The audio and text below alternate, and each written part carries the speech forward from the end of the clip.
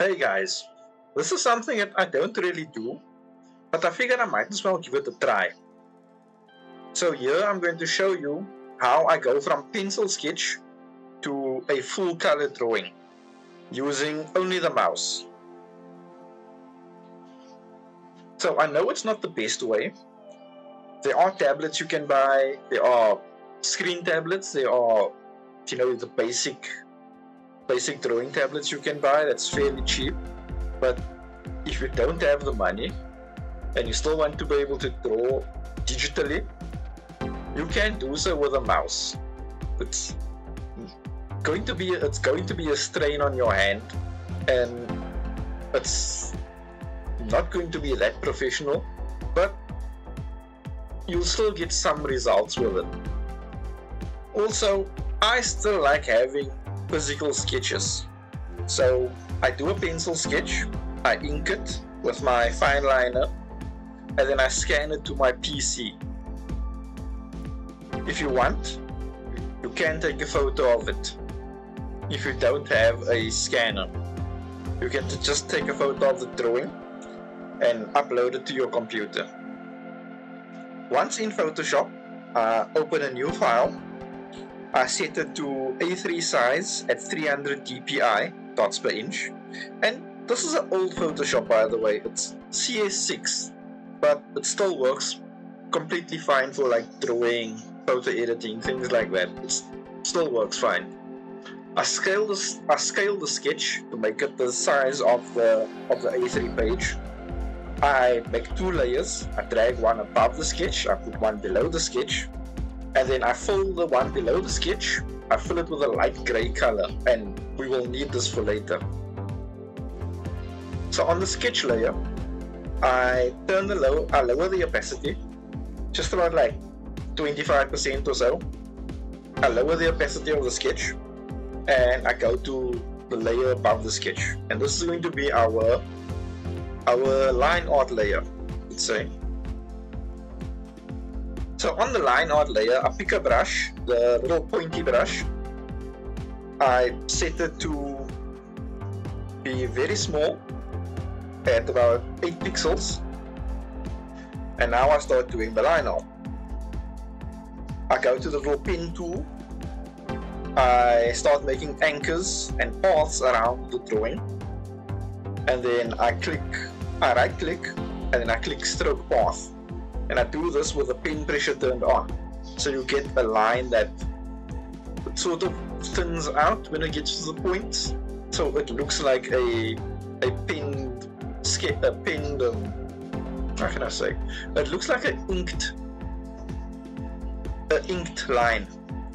So I do this all around the drawing, changing the size where I need to. I mostly use the, the 8, the size 8 for around the around the drawing and I use maybe smaller sizes for for inside the for like creases on clothing or maybe the, the eyelashes I will use a smaller smaller sized pin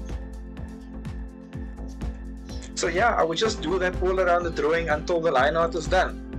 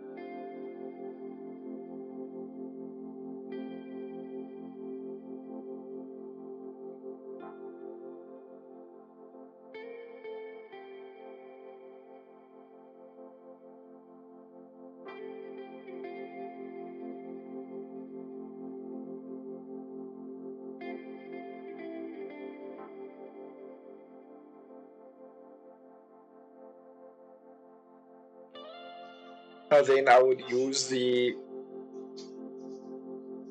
the little um, area select tool and I would try to find holes in where the in the line art. So if the area select it leaks out it leaks out onto the main canvas, I can see um, I can see where the holes are in the line art.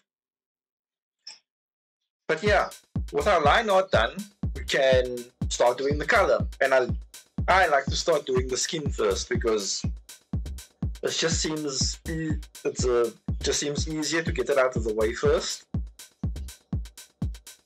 So I'll go around wherever there's skin.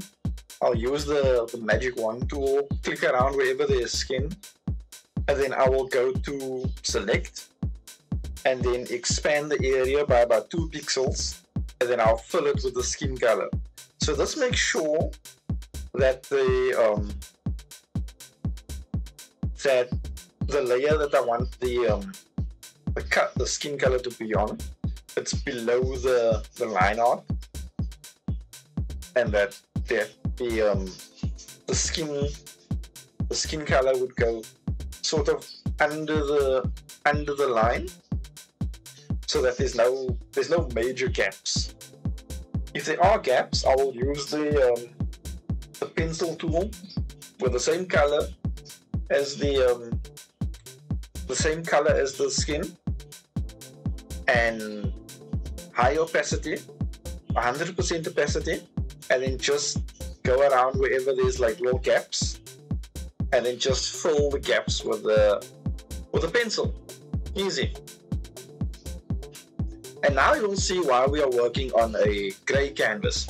Because if you're working on a plain white canvas anything you add is going to look you know extra dark around all the white. And if you're working on a black plain black canvas anything you add to it is going to look extra light.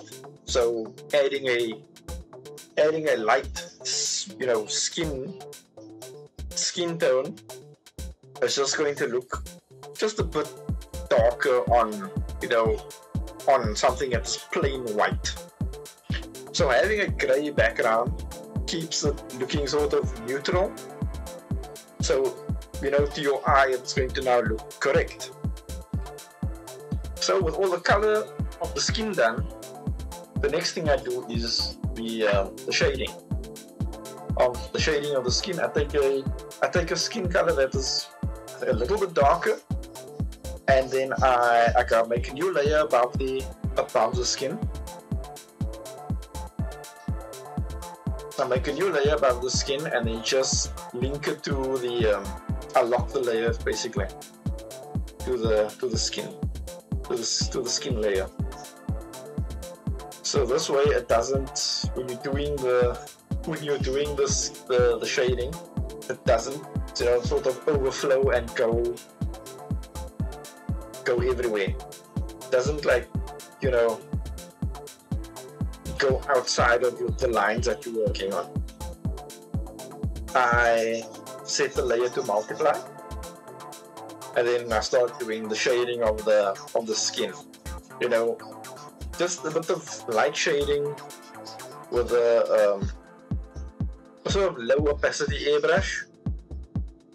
Um, this way I can make a new. This way I can make a new layer, come back to it, come back to the skin, take a, slightly darker color, make it maybe a, a, a slightly higher opacity, and then start working on it again and start making darker shadows.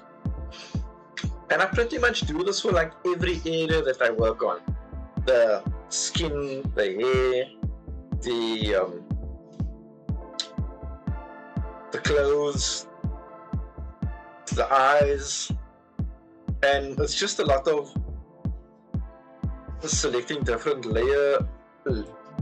It's just a lot of selecting different layer blending modes so that the everything sort of well blends together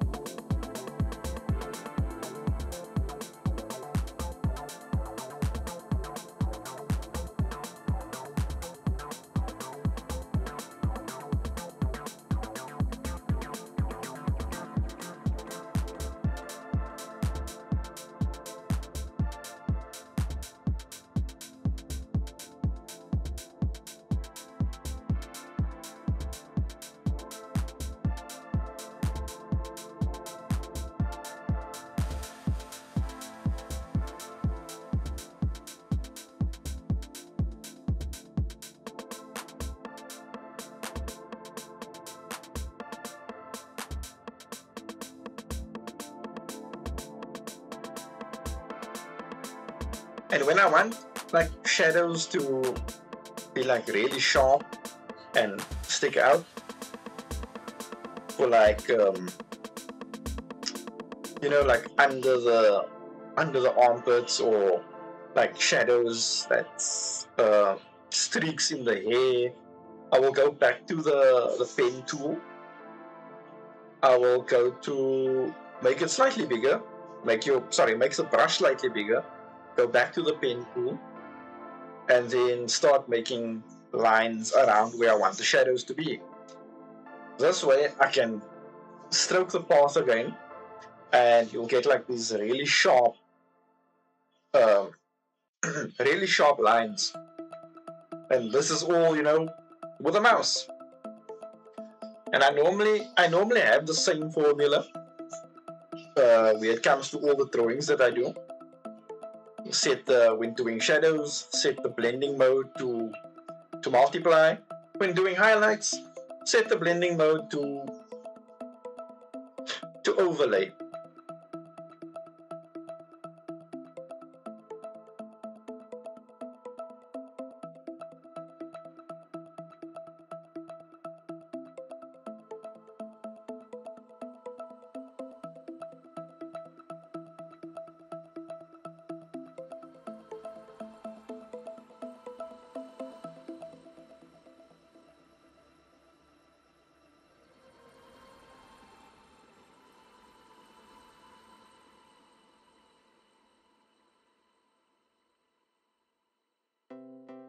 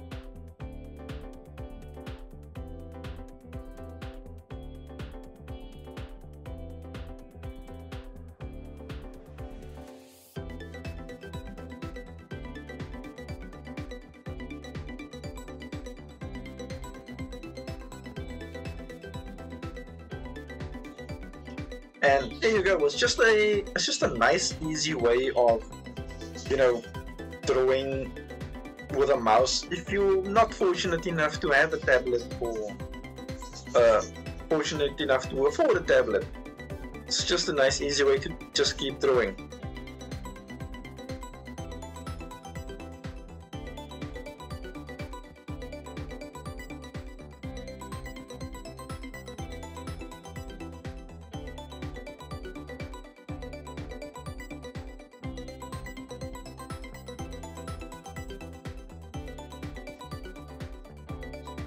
Hey, I don't always make videos where I speak, so if you like this, consider subscribing to the channel, liking the video, things like that. And if you really like what I draw, you can find all my artwork printed on t-shirts, phone covers, stickers, and many more things like that. And the link to that will be somewhere in the description, so consider picking up a t-shirt if you want.